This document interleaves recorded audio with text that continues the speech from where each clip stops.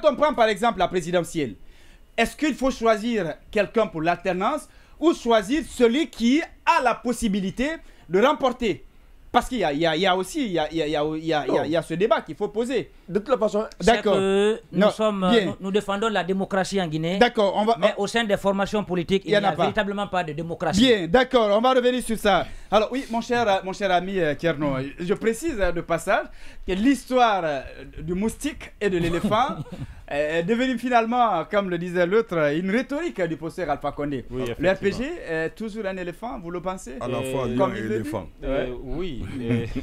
mais on va chercher les moustiques alors, on y va, oui. Mais est-ce que l'éléphant n'a pas un pied cassé? Non, non, c'est que euh, par son palmarès, c'est quand même un grand, un grand parti. Et je pense qu'il faut aussi attendre les, prochaines élections mm.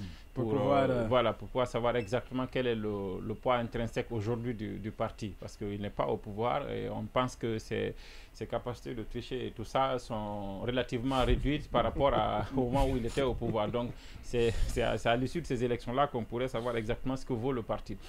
Mais moi, je, le premier enseignement que j'ai tiré de, des propos du président Alpha, c'est que eh, c'est des propos qui viennent soit démentir quelque chose ou, euh, Confirmer. Eh, ou alors le montrer, euh, aller à, comment on appelle, euh, à l'encontre des, règles établies. Parce qu'il a été dit à un moment donné que le président, et c'était l'un des objets d'ailleurs, de, ça faisait partie de l'objet de, la visite du président Doumbouya en, Turquie, il se disait que diplomatiquement, les autorités avaient réussi à régler ça en disant aux autorités turques euh, de, voilà, de faire taire un peu le, président parce que c'est gênant qu'il continue à dénoncer, à parler des, des autorités guinéennes pendant que la Guinée et la Turquie entretiennent des relations diplomatiques mais que de l'autre côté, on le laisse quand même avec toute la liberté de s'en prendre et même de planifier. On a dit ça ici, de planifier des choses. Quand mhm. il a dit ici que mhm. euh, les gens vont, ils vont, ils vont quitter le, pouvoir. Donc, ça veut dire que ces, ces accords peut-être n'ont jamais existé ou que le président est en train de violer un, pacte entre lui et les autorités turques en, en, continuant à envoyer des prix aux autorités euh, du, CNRD, au CNRD. La deuxième chose, c'est que euh, d'abord, il faut dire qu'avant Alpha Condé, il y a eu d'autres. Euh, vous voyez bien, le président Bédier, il a quitté par un coup d'État, il, est, il est revenu et, dans l'arène politique. C'est sa mort qu'il a enlevé en fait à la tête de, son, de, son, de, son, parti. Mm. Vous avez vu ce qui s'est passé avec le président Gbagbo? il est revenu, il a voulu reprendre le parti. Il n'a pas pu, ça n'a pas finalement, Il a, il a, créé. Il, est aujourd'hui à la tête euh, du parti. Malgré son âge. Ça, va être difficile. Voilà, c'est exactement ça, c'est une tradition malheureusement. Mm. Maintenant, et le, le il faut comprendre le président Alpha Condé. Moi, je pense qu'il est entre deux feux. Le premier feu, vous le voyez bien sur un, un combat, euh, il a comme l'obsession même, permettez-moi de le dire, de régler des comptes au CNRD. Donc il n'aura aucune occasion pour envoyer des, des, pics. Sanda n'a fait que prendre des balles perdues. C'est en réalité, il est, est très petit. dans raison. Voilà, il est très petit dans le viseur de, du président Alpha, Condé. Mm. Mais il est donc face à ce, à ce, à ce front-là. Mm. Et l'autre front, front, dont on ne parle pas, mm c'est à l'intérieur du parti. Et parce qu'il vous a même, il a même dit que les, les, moustiques, il y en a aussi à l'intérieur. Oui, il dit, mais pour le moment. oui, lui-même, il avance. Il dit, mais pour le moment. voilà. oui, pour le moment, on passe donc, ça. donc, il est, il est entre deux feux. Il est entre deux moustiques. Il y a, il y a le CNRD eh, qu'il pense être sur un front qui consiste à non seulement. Eh, ils ont réussi à lui enlever le pouvoir, qu'il a, qu'il a obtenu dans les urnes, mm. mais il semble être dans une posture à éliminer, quelqu'un l'a dit ici, les principaux ténors. C'est pourquoi c'est lui est dehors, c'est pourquoi Sidi est dehors, c'est pourquoi lui Alpha est, dehors, c'est pourquoi peut-être que Kassori Fofana est en, est en prison. Et c'est pour ça que tous ceux-là qui essayent de parler du RPG avec un certain ton sont soit nommés ou alors sont en, en, en, prison. Exception faite euh, à notre ami, euh, l'ancien ministre de, du Commerce, euh, Marc Yombuno, qui mm. continue quand même à porter le flambeau et, qui, se bat bien pour à, à, dénoncer. Alors donc, il y a, le président est entre donc, ces deux fronts-là, le CNRD et à l'intérieur du parti où les contestations ont déjà commencé. Vous avez vu pourquoi Suleiman a été suspendu? Le jeune Suleiman euh, a été suspendu. Vous avez vu ce débat que, et qui est l'un des lieutenants de cette formation politique, ça, il faut l'avouer. L'un des rares hein, à passer dans les débat qui a été suscité lorsque Saloum a parlé de président et de fondateur Ouais, mais bien sûr.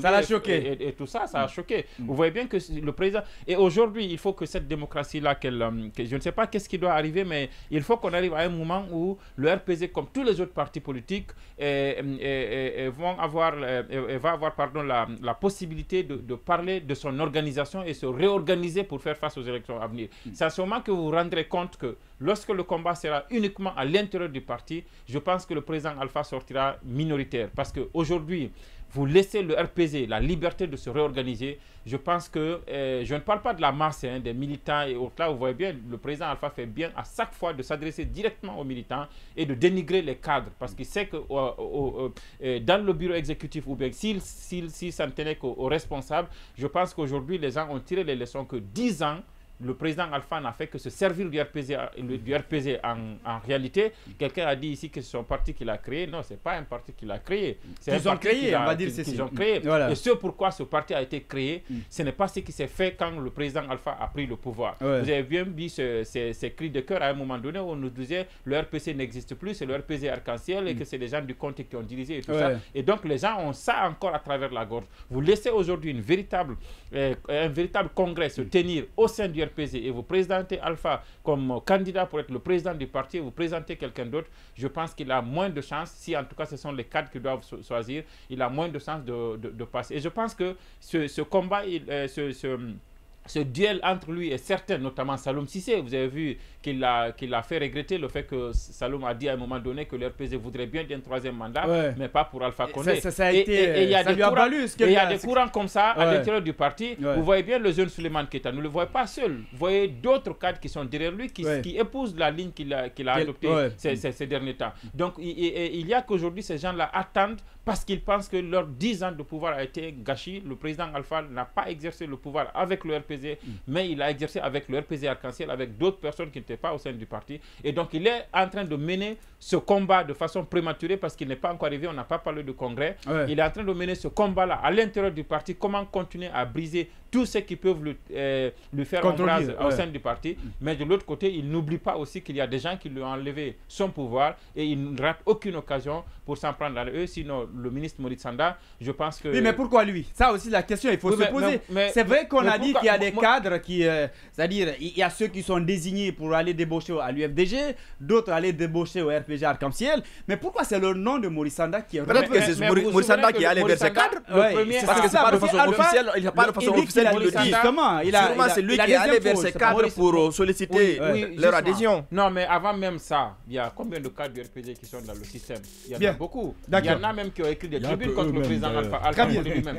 Mais je pense que c'est Mauritanda parce que vous avez suivi sa sortie, euh, je pense à Kouroussa ou quelque part comme ça, où il a évoqué le sujet du, du RPG, du RPG Je pense que c'est pour toutes ces raisons-là que le président Alpha a eu une certaine fixation sur lui pour cette sortie-là. D'accord. Mais sinon, dire qu'il il voulait être son ministre ou si cela, je pense D'accord, ça c'est... D'accord, très bien.